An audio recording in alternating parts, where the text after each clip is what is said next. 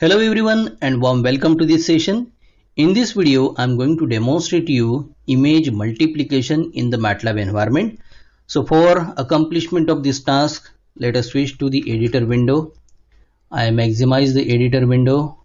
We start with the MATLAB syntaxes of close all, clear and CLC so that we can have fresh execution of our program adding a comment line to mention what is motive behind writing this particular MATLAB script. So I write here, this is a program to demonstrate the image multiplication.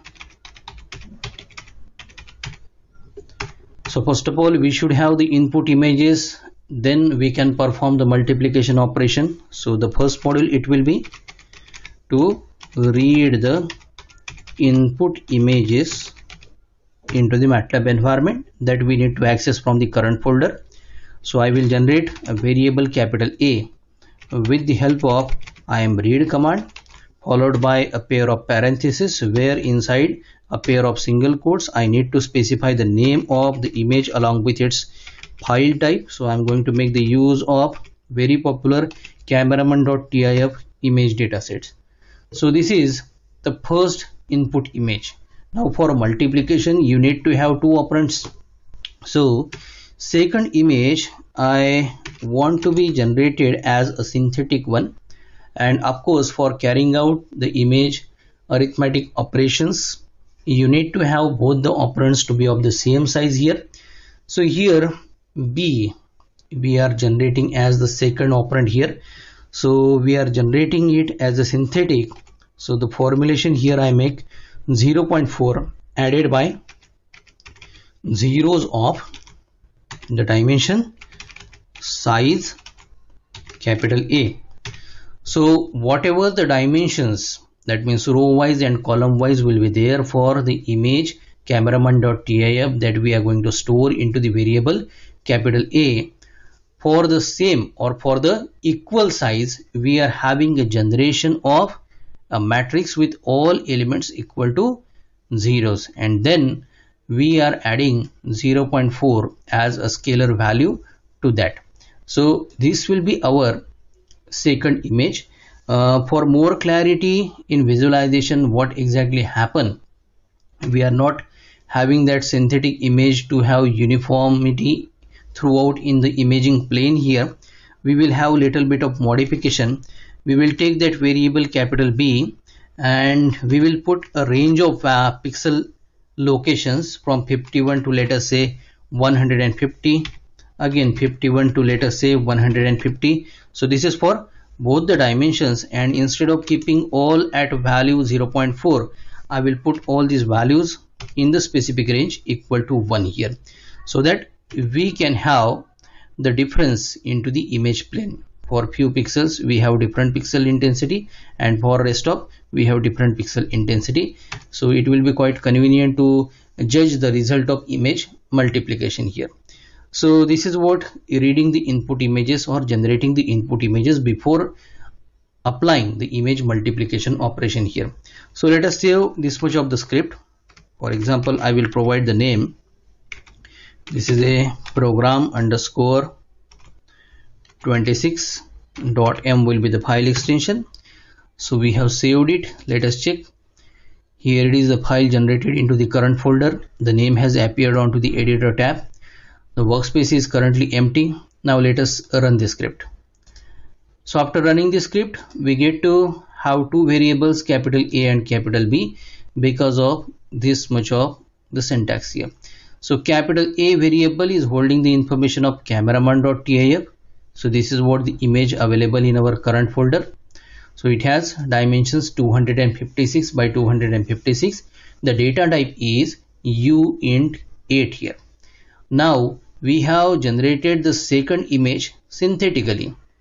So this is by the use of matrix of zeros then altering the value of those zeros and making a particular range of values equal to 1 here. So this is with the same size for which we have the first operand image that it is cameraman.tif so that is why again the variable b is having the same dimensions 256 by 256 as it has been generated synthetically it is of the data type double here. So with the arithmetics and proper assignment as we have written here so we have obtained it to the double type here. Now we will perform the image multiplication. So this is the next module. I'm having a comment image multiplication. So i will like to hold the result of image multiplication with the new variable that is capital c. Now the multiplication into the matlab environment is possible by just putting the asterisk or having dot asterisk here. So whenever you want to have element to element multiplication into the operand arrays. So basically the image is treated as array in this MATLAB environment here. So that time you need to prefer for dot asterisk here. Otherwise simply putting asterisk will perform the matrix multiplication directly. So if they are of unequal dimensions but one dimension is of the same value. And if the matrix multiplication is possible so it will give you the result of image multiplication here. But most of the time when you are preparing the arithmetic operations onto the images so it should be element wise here. So it will be having the corresponding pixel intensity into the first image multiplied to the corresponding pixel intensity at the same location into the image 2 here. So what i'm going to do as for the variable a holding the information of camera.tif into the data type uint8 and for the variable b as it is synthetically generated the data type value uh, with the data type double is there. So we need to match the data types here. So what i can do i will first of all get the first image as double. So i write double of capital a here then dot asterisk will perform element wise multiplication with capital B. So capital B is already in double data type here. So this is what a simple formulation for image multiplication. So this had to give us the result of image multiplication. Let us see how the visualization looks. So I have the last module here.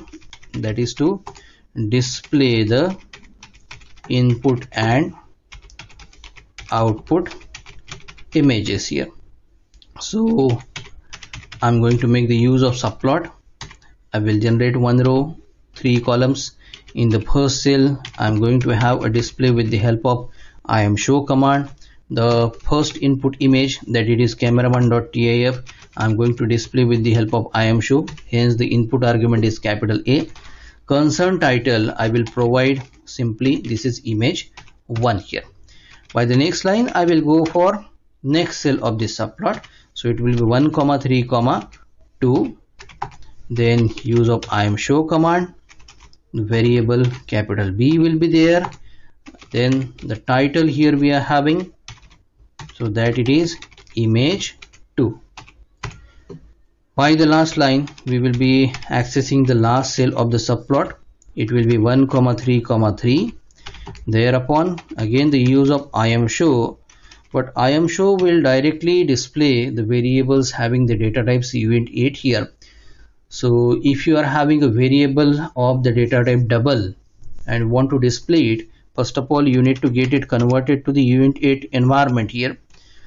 So here I write uint8 and in the parenthesis I will provide the variable capital C that holds the result of multiplication here. And the concerned title here it will be result of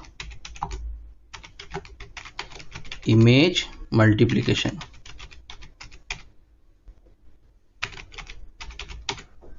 So I will save the changes made to the script and run this particular script.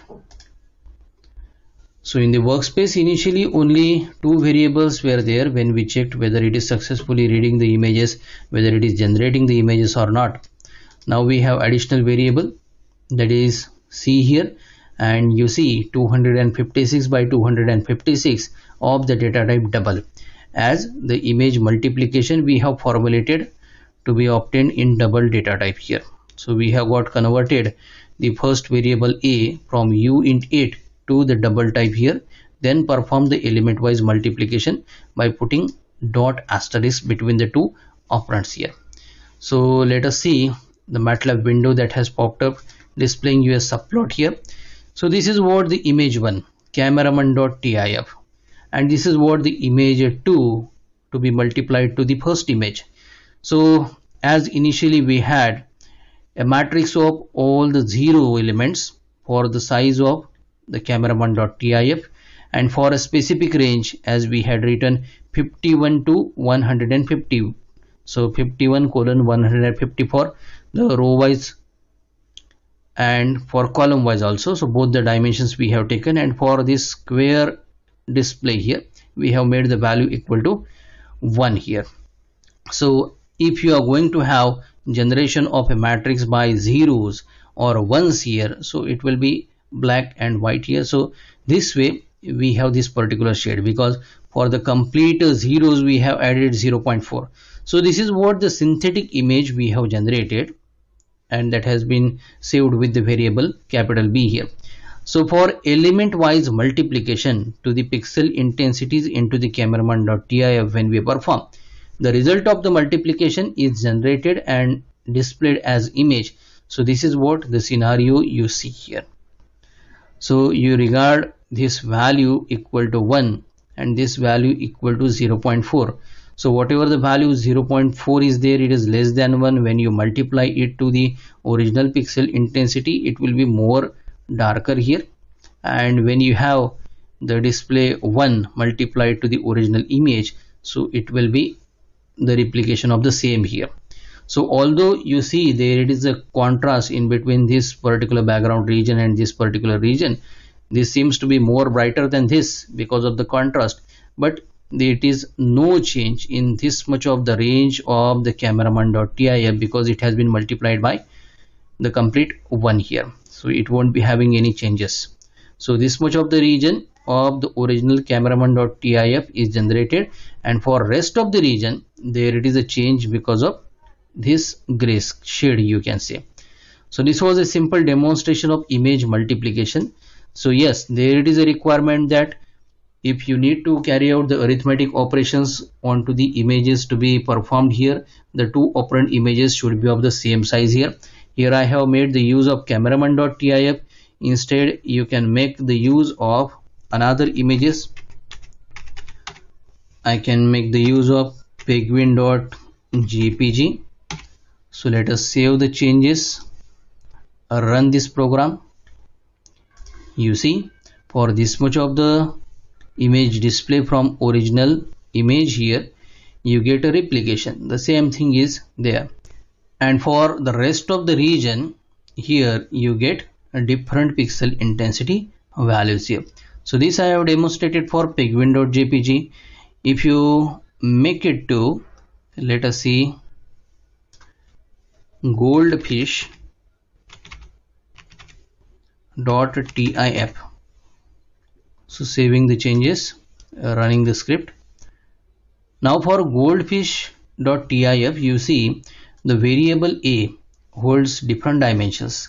So earlier for cameraman.tif or penguin.jpg or lena.jpg it was 256 by 256 now it is 592 by 768 so for the same size we have generated the variable b so b also holds the same dimensions but of double type here. The result of multiplication will be having the same dimension here. And this is what a display. So let us check it. So as 51 to 150 that is a quite very less range as compared to the dimensions of the goldfish.tif here. That is why you see a very small square shape with the white color here. So when we have the multiplication of image 1 with image 2 this is the corresponding result here. So in this much of the span only there it is no change into the pixel intensity values whatever that it was original that has been generated. For rest of the image plane there are differences here. So i hope this demonstration of image multiplication has definitely helped you